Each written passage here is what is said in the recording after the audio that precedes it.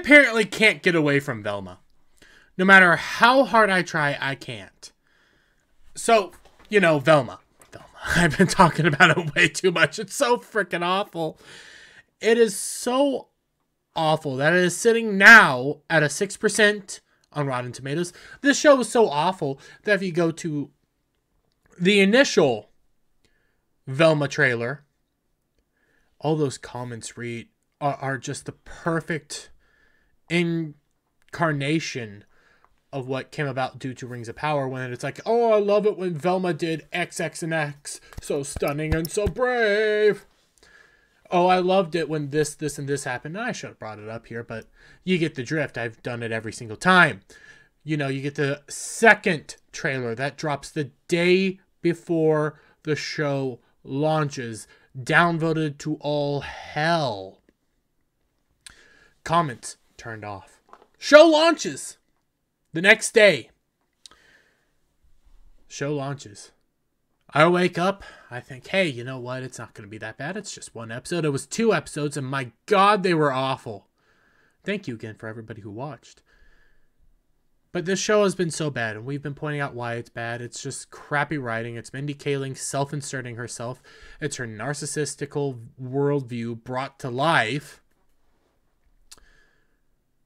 And we pointed out just how awful it is. It's just Mindy Kaling awful. It is Hollywood making a Hollywood show for Hollywood and not the rest of the world, while simultaneously taking a beloved property in the form of Scooby Doo, in the form of Scooby Doo, and completely bastardizing, changing characters, making Shat well Norville, Sam. I can never remember the dude's name. I'll have to remember it by the end of the night. Norville is some effeminate black dude who everybody keeps calling him a pot smoker, but in reality, he's not. He actually vehemently hates drugs. But he makes YouTube videos and streams about snacks. You know, because Shaggy was a eat snacky guy, obviously, but had a lot of pot. You, you know, he he does those for the potheads. You get Daphne, uh, Constance Wu, being a prissy little queen bee prick, not who Daphne was. Daphne was actually the runt of the litter, but also she has two moms, you know, and in this version, Constance Wu. Glenn Howerton is evidence of just how racist and awful they are, using him to display all sorts of white privilege. You know, he's so privileged and pampered that he never had to go through puberty he has a teeny weeny little peeny.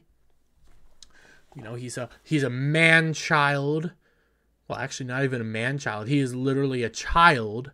He is stupid, he is moronic, he does everything wrong, and they do a Hitler joke with him, mind you. Probably can't say that dude's name on YouTube, but uh, I don't really care. And then Mindy, who Velma is obviously Mindy, who is simultaneously, you know, disliked by everybody, is one of the unpopular kids, but at the same time is almost perfect at everything she does, yet also imperfect at everything she does. She has so much meta jokes that it breaks my brain. Where one minute she's complaining about, like, me, she does one Me Too joke, and everybody thinks it's right wing Yet the whole other time she's complaining that nobody is following the progressive ideology. Well, this has led to, well, like I went over yesterday, Velma is so bad it swapped psyop, cons- it spawns, uh, can't speak, it spawns psyop conspiracy theories. Yeah, I, I went over that. Well, we have a new one. We have a new example of basically people trying to cancel Mindy Kaling. Now, I don't like Mindy Kaling. I think her show is so freaking awful. I think Mindy Kaling is unfunny and very pampered and prissy. But people are trying to Me Too her now, and here it is! Mindy Kaling, Mindy, Mindy, Mindy. Mindy Kaling from hashtag Velma talking about how she non consensually kissed a co star and threatened to fire people if they told anyone I'm not surprised. Yeah. Yeah, Mindy Kaling. Mindy Kaling kissed a co-star. It was a peck, but threatened to fire everybody if they told anybody and did anything. Well, cancel her. But I mean, yeah, this is your guys' ideology, and she's not the only female well, director, writer, star that's done this. In fact, there's there's one that made a, a show called Don't Worry, Darling that has all sorts of drama. But anyways, that that's a topic for another day. But let's just go over what Mindy says here. Why don't we? And, real gentleman, yeah. real gentleman. He came on the show and we had to do this flashback sequence where we were in bed together in college. Hmm. we were just supposed to be having a conversation, but like he's so tall and he's so handsome that in the middle of it, he was he was just supposed to be like, "What do you think, Mindy?" And I was like, "Okay." Well, again, some of the context is missing for me, but what I'm getting is she kissed. I don't remember the dude, and they'll have the face here, and we'll have his name here in a bit. But she kissed a co-star on the lips, and I guess it was out of the blue, and hormones took over and stuff like that. And she lost control and kissed him looked around and I improvised just kissing him in the scene, which was not in the script. It's not in the scene. You. Hmm. Hmm. Hmm. Well, you get it. And we'll we'll, we'll skip over here, and it, it, it's God. His name is escaping me, but an annoying dude. Well, anyways. And then he reacted like that, and, and I pretended it didn't happen. And then I walk backstage. We have two writer producers. Um, I can.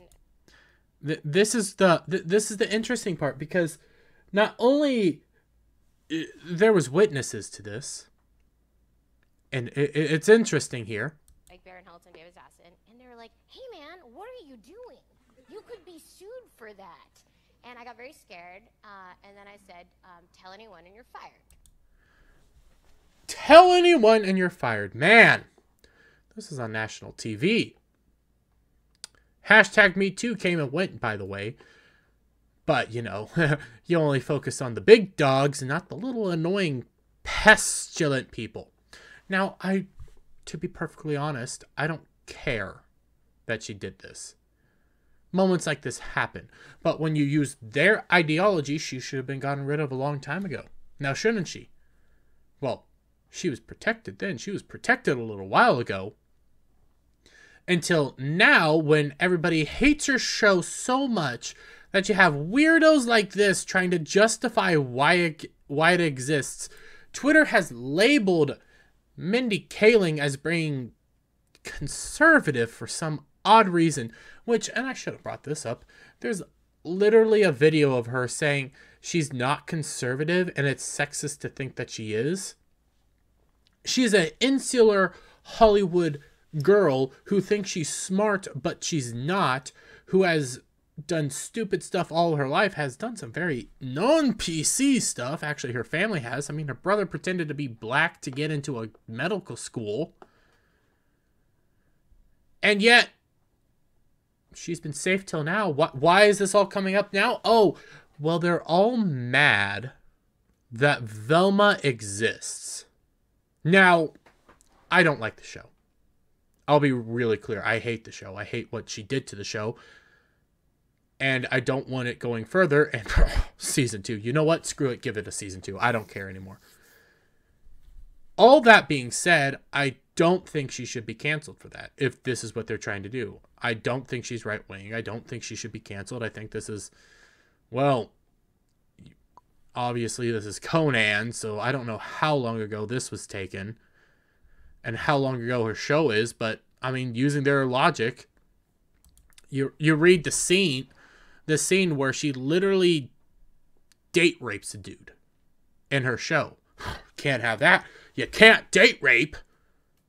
And you, she thought it was okay because she was a woman. Well, you guys thought it was okay in She-Hulk. You guys justified it in She-Hulk. So I don't want to hear it now. We used your logic then and you said no that's not that that's not true you can't do that that that's That's BS. But using your logic now, she date raped a dude, so she must be canceled. In her show, she date raped a dude. It, it, this fallout with Mindy Kaling keeps getting weirder and weirder, and more and more people. I don't like the show because I think the show's crap. I think Mindy Kaling's an awful human being. I think she just uses the show to justify her true racism and narcissism. Narcissism. She is on par with every lefty uh, organization. The only reason they call her a transphobe is because she liked and retweeted a J.K. Rowling tweet. That that's literally the only reason they're calling her a transphobe. She's now right wing because her show was so awful that it's helping YouTubers get views and clicks. Rightfully so, but never mind. That now Twitter has deemed her conservative and she therefore must be canceled. What timeline do we live in by this point? L- literally, what timeline do I exist in? The show's bad, therefore she cancel her because she is right wing. What has happened? L- l- let me get. Let me know what uh, CERN hadron collider. Did you turn on? Let me know. Get your guys' thoughts down in the comments below. If you liked the video, give it a thumbs up, share it out with your friends, hit that subscribe button, hit that notification bell for every time I put out a new video go live. I'm recording this prior to watching the newest episode of Velma. That should be up hopefully prior to this. If not, it's going to be up after this. So I'll see you guys later. Bye for now.